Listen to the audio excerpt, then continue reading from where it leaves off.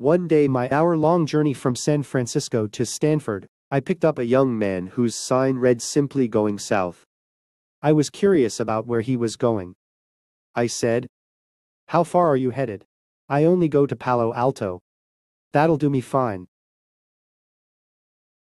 Going to Santa Cruz. No, just south. All the way to Los Angeles.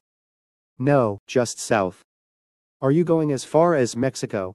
I hope to go there someday. Nope, only headed south. I realized I was getting upset by these evasive answers from someone who claimed he wanted to live his life transparently, like an open book.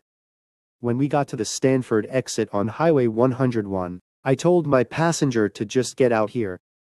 Hey, man, why are you being so uncool? Look, I gave you a ride, and you refused to tell me where you are going. Oh, now I get it. You think I'm going somewhere, and you don't understand that I'm just going anywhere, as long as it's going south. I'm not headed to any destination, to any particular place, because I might not get rides to take me there. Then I'd be frustrated, and who wants to carry that mental load around? Not me. So by going only in a general direction, I am never upset if I get only a short ride, as long as it's headed south. You've made my day already by taking me this far. If I got no farther, I'd be happy, because now I am where I was headed south, you see.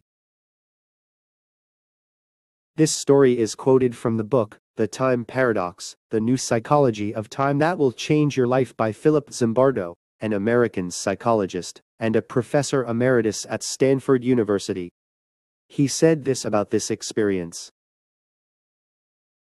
I realized that in my excessively future-oriented world, I went only to specific places, to standard destinations, for particular purposes. I could not imagine heading out without a travel plan, without having made reservations in advance. We generally aim for a life where we act, only, when we have a definite purpose. So we think that action without purpose is a waste of time. But we should not forget that a life without a purpose is as valuable as a life with a purpose.